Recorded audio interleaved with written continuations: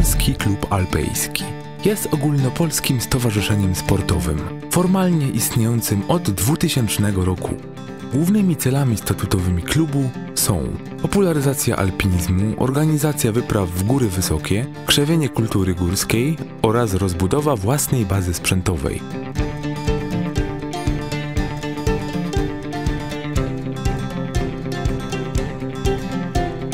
Klub zrzesza 50 członków zwyczajnych i ponad 2000 członków wspierających w kraju i za granicą. Od stycznia 2009 roku prezesem klubu jest Bogusław Magrel, a wiceprezesem Jacek Kotra. Funkcję skarbnika pełni Maciej Westerowski, a sekretarza klubu Paweł Kajzerek. Członkowie stowarzyszenia byli gośćmi największych imprez tematycznych w kraju, na przykład Explorers Festival w Łodzi, spotkania podróżników w Gdyni, spotkania ludzi gór, krakowski festiwal górski, festiwal filmów górskich w Cerwin, na których prezentują materiały poświęcone działalności sportowej stowarzyszenia. Film autorstwa członków klubu Droga na ośmiotysięcznik otrzymał wyróżnienie na Bielskim Festiwalu Filmów Górskich i został skatalogowany w zbiorach Muzeum Alpinizmu w Turynie. Klub może pochwalić się certyfikatem pierwszego pułku komandosów z Lublińca, ale współpracuje też z domami kultury, placówkami wychowawczymi i szkołami powszechnymi. Na koncie ma ponad 150 wypraw na 5 kontynentów, podczas których członkowie klubu działali w Himalajach, Tienszanie, Pamirze, Atlasie Wysokim, Andach, Kaukazie, Altaju, górach Elbrus, Ruwenzori oraz w Alpach.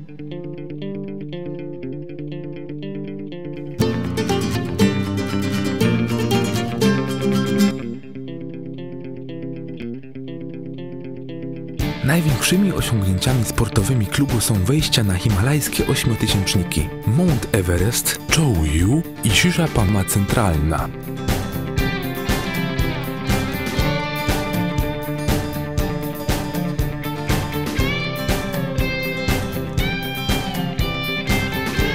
W latach 2004-2008 ośmiu członkom klubu udało się przekroczyć magiczną barierę 8000 metrów bez wsparcia tlenowego. Równie piękną sportową kartę klub zapisał w Tienszanie, gdzie w latach 2002-2005 działał na Chantengri oraz na Piku Pobiedy.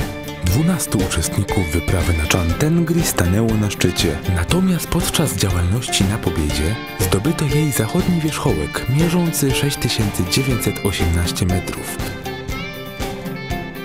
W Pamirze klub organizował z powodzeniem wyprawy na pik Lenina i pik Korzeniewski. Natomiast w Andach stowarzyszenie może poszczycić się aż 73 wejściami na Aconcagua, najwyższą górę Ameryki Południowej, oraz wyprawami na trudne technicznie szczyty, takie jak peruwiański Alpa Mayo.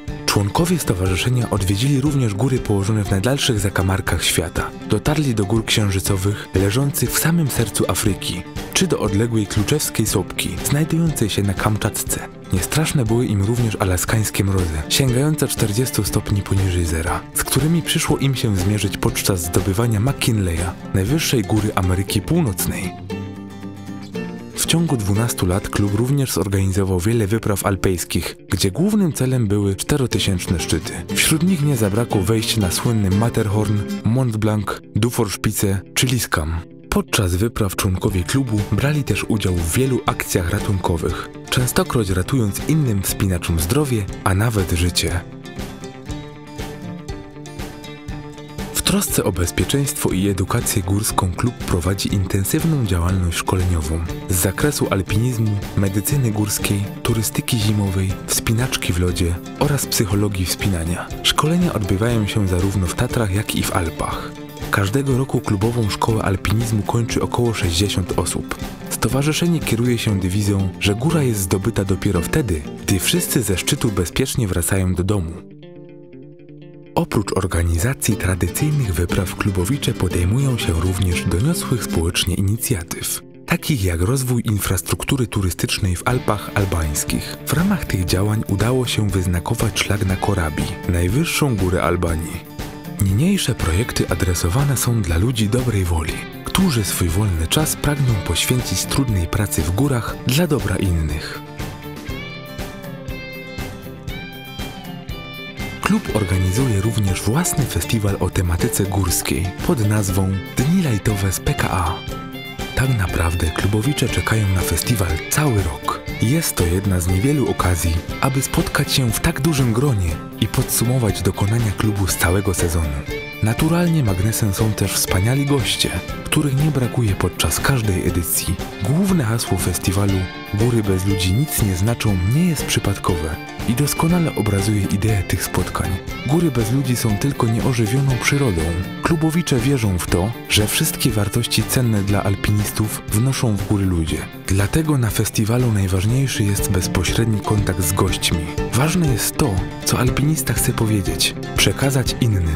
Natomiast obraz i dźwięk są tylko sposobem wyrazu ich myśli. Ta forma wymaga osobistego zaangażowania każdej z zaproszonych gwiazd, poświęcenia czasu. Tym bardziej cenne są spotkania z nimi, a historie przez nich opowiadane nabierają głębszego wymiaru.